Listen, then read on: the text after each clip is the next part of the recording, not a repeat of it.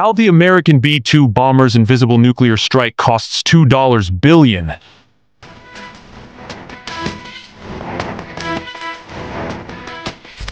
Imagine a bomber so advanced, it can slip past enemy defenses undetected, striking targets with pinpoint accuracy. Meet the B-2 Spirit, a marvel of modern engineering that redefined aerial warfare. But what makes this aircraft so extraordinary? Let's dive in.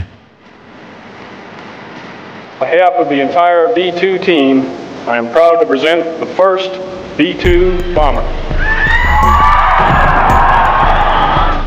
Conceived during the Cold War, the B-2 Spirit was Northrop Grumman's answer to the need for a stealthy, strategic bomber capable of penetrating sophisticated enemy defenses.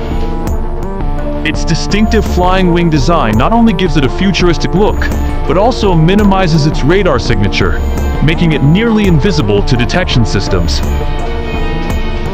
First taking to the skies in 1989 and entering service in 1997, only 21 of these formidable aircraft were built, each costing approximately $2.13 billion, when accounting for development, engineering, testing, production, and procurement. B-2's stealthiness stems from a combination of advanced materials, special coatings, and its unique shape, all designed to reduce its infrared, acoustic, electromagnetic, visual, and radar signatures. This allows the B-2 to operate at altitudes up to 50,000 feet, reaching any point on the globe with minimal risk of detection.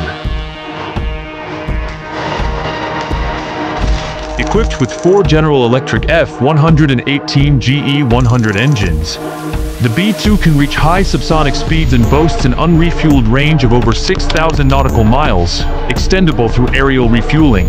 Its two-person crew operates advanced avionics and mission systems, ensuring both efficiency and lethality.